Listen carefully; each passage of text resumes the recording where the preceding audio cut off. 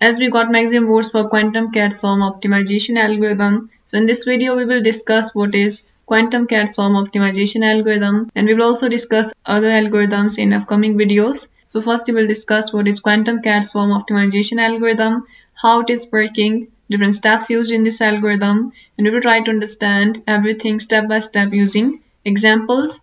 Here you can see the topics covered in this video. First, what is cat swarm optimization algorithm? Next, we have what is quantum cat swarm optimization algorithm. Then, what is difference between cat swarm optimization algorithm and quantum cat swarm optimization algorithm. Next, we have quantum computing key concepts. In quantum cat swarm optimization algorithm, different quantum computing principles are used like superposition, entanglement, quantum gates, and other. Next, we have what is qubit, that is also known as quantum bit, qubit states, quantum gates, and then we will try to understand how quantum cat swarm optimization algorithm is working step by step using flowchart. It involves how we can initialize quantum population in quantum cat swarm optimization algorithm, how we can update cat's position in the search space using quantum gates. Then we have in the end advantages and applications for the quantum cat swarm optimization so first you can see here cat swarm optimization algorithm that we already discussed in this video. For more details you can check this video. Right now in this video we will discuss cat swarm optimization algorithm key points. For more details you can check this video. The link is given below in the description box. Cat swarm optimization algorithm is inspired by the cat's behavior in real life and here you can see we have two modes seeking mode and tracing mode. So when you will notice that in real life, they spend most of the time in the seeking mode that is in resting or observing the environment that is alert. And when they found any target they start chasing they start tracing the target and then attack. So in cat swarm optimization algorithm these two models are used to simulate cat's behavior these models guide the optimization process in such a way that mimics different strategies used by cats in real life. So here we have seeking mode and tracing mode and in seeking mode we have cats alert it means they are observing the environment. In resting mode then we have tracing mode when they are chasing the target or food. So first you can see here in the seeking mode we have four main parameters SPC that is self position considering, SMP that is seeking memory pool, SRD that is seeking range of selected dimension, CDC that is the counts of dimension to change. So as we have here virtual environment, we have virtual cats and we are using the models to simulate the cat's behavior. So here you can see in the seeking mode we have four parameters. You can see here seeking pool memory. This is defined for each cat. By this memory the virtual cats can remember their points. It means their positions in the search space. And here we have CDC that is the count of dimensions to change. Now you can see the flowchart for cat swarm optimization algorithm. First you will generate n cats randomly in the search space, initialize their position, velocity and flag for each cat and here flag represent whether the cat is in the seeking mode or it is in the tracing mode. After that for each cat we will calculate the fitness value and then we will rank the cat from best to worst and we will save the best cat in the memory that is the optimal solution. After that we will check whether the cat is in the seeking mode or it is in the tracing mode. So if cat is in the seeking mode, then we will check here SPC flag whether it is true or not. Self position considering if it is true, then we will make SMP minus 1 copies of cat. Else we will make SMP copies of cat and after that we will combine and add or subtract the values based on CDC. After that for the new solution we will calculate the fitness value for each cat and then based on the probability we will select the next position for the cats. Here you can see the steps involved in the seeking mode. First we will generate J copies. Here J is SMP of the existing location for the cats. For each copy we will randomly select CDC then add or subtract SRD values calculate the fitness value and then we will define the selection probability. Here you can see this is the cat fitness value. F max that is the maximal fitness value F min that is the minimal fitness value and here you can see FV. FV here for maximization problem FV is considered Fmax and for minimization problem we will consider the FV value for the FV value as F min. And next we have here tracing mode the cache in the tracing mode. Right now we will check the velocity value whether it is greater than the maximum value or not. If this condition is true then we will consider the velocity as the maximum velocity else we will update the velocity for each dimension for the cats. After that we will combine here and update the position.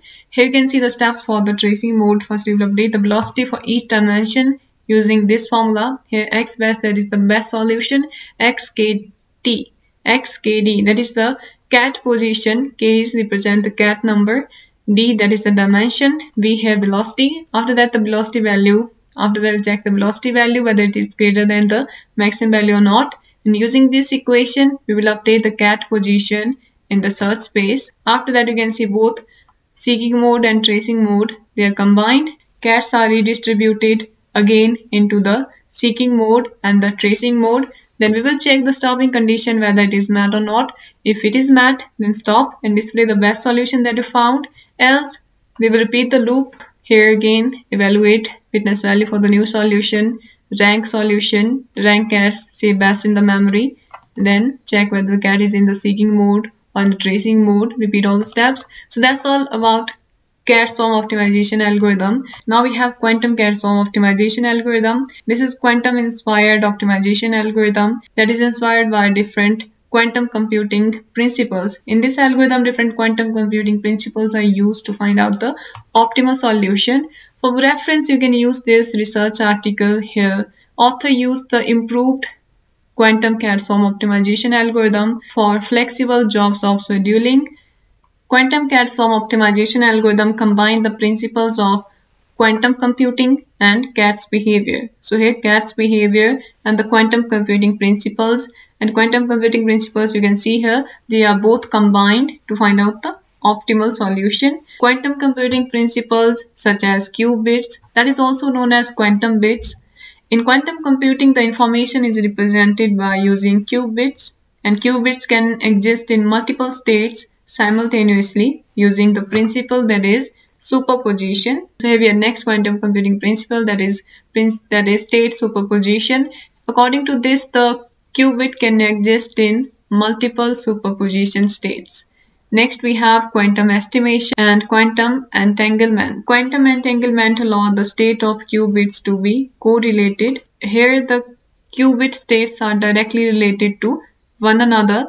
The state of one qubit directly affects the state of other qubit. And you can see the cat's behavior, they're combined here with the quantum computing. That is cat swarm optimization algorithm. It is combined with quantum computing principles. So cat's behavior, we have observation, like cat observe the environment and explore food and explore food. Is the target. So as cat explore the environment, here exploration involve searching the optimal solution. Next we have exploitation. As we know cats are known for their ability to focus on the target. So here this exploitation phase refer to the search around the promising solution. So in quantum cat optimization algorithm, quantum computing principles are combined with cat swarm optimization algorithm and they can be used to solve different optimization problems. So next we have quantum computing principles. As we know, classical computers use bits, either 0 or 1 to represent the information. On the other hand, in the quantum computer, quantum computer use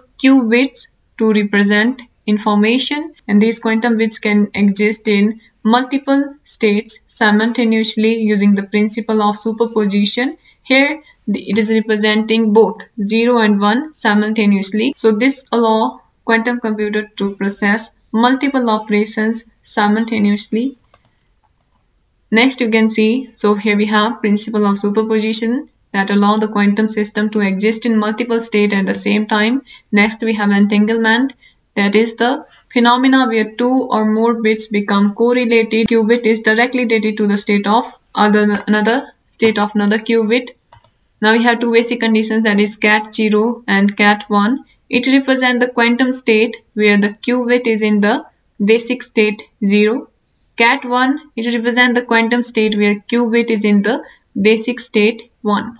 Next we can see here the difference between classical meta heuristic and quantum inspired metaheuristic algorithms. Metaheuristic optimization algorithm both classical and quantum inspired metaheuristic. They share the same goal of efficiently exploring the search space to find out the high quality solution for the optimization problem. Classical optimization operate on the bits. For example, genetic algorithm, simulated annealing, PSO and ACO.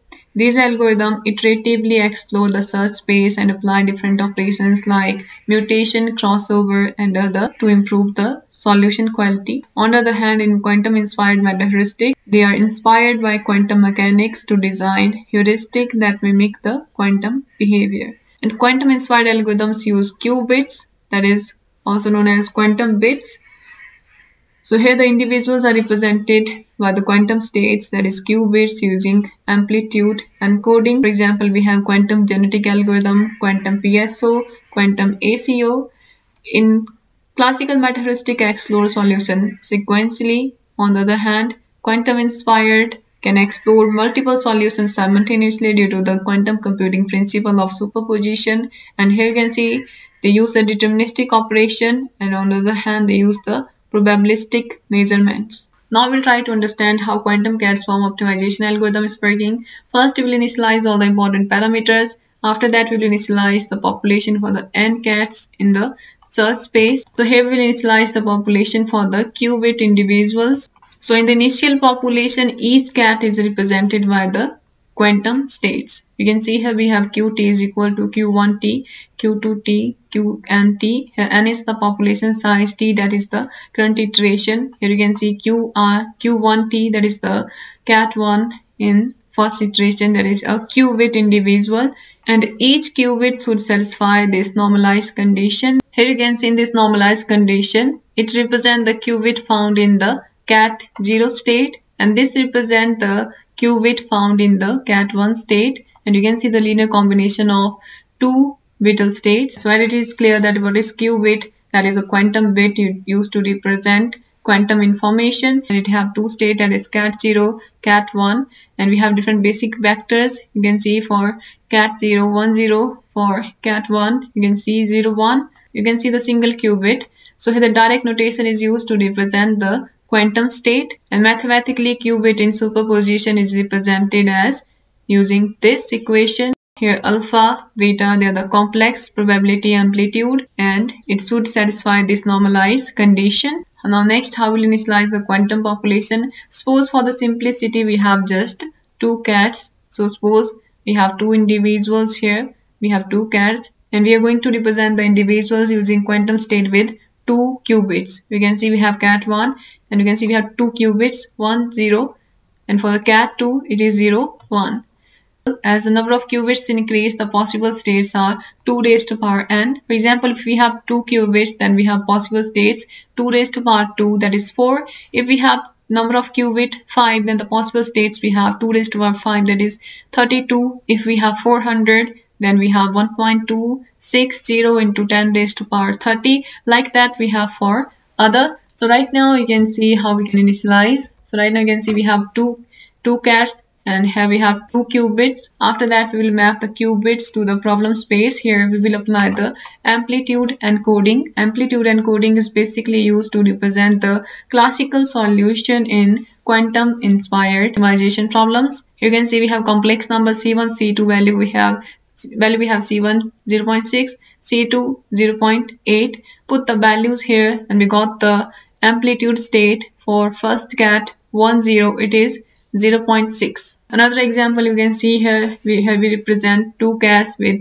three qubits you can see here we have three qubits for the first cat 101 for the second cat 011 like that we can initialize the quantum population for number of cats here in 3 qubits. First qubit you can see qubit is in the ket 1 state.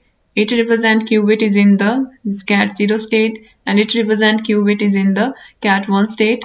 After that we will decode and convert it into decimal. Now for example suppose we want to encode classical qubit 0. So first we will initialize the qubit in state ket 0. Next we will decode it. Now to decode it we will measure the qubit and if the measurement result is also ket 0 means the qubit is successfully decoded after that, we will perform the quantum measurement. Now, what is quantum measurement? So, quantum measurement that is the process of obtaining information from the quantum system. After that, we will evaluate the fitness value for each cat and after that, we will rank the cats and update and save the best solution that is optimal one. Now, we will apply here the cat swarm optimization algorithm. Here using MR ratio that is the mixture ratio, we will distribute the cat into tracing mode and the seeking mode.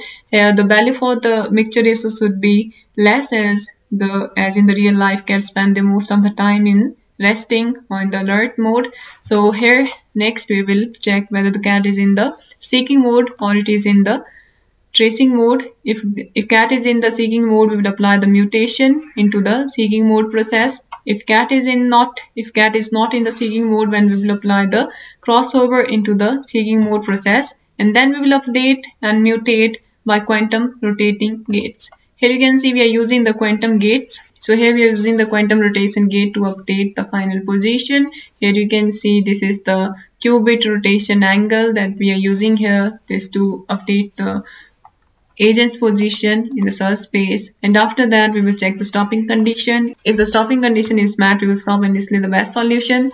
Else we will repeat the loop again randomly distribute the cat into the tracing mode and the seeking mode and then repeat all the steps. Now we have advantages. So as we discussed quantum cat swarm optimization algorithm which is the combination of quantum computing principles and cat swarm optimization algorithm. So this algorithm can jump out of the local optima when it is stuck in the local op so it can jump out of local optima in the disturbing environment and this can improve the solution accuracy for the cat swarm optimization algorithm. Basically whenever any metaheuristic stuck in in the local optima again and again.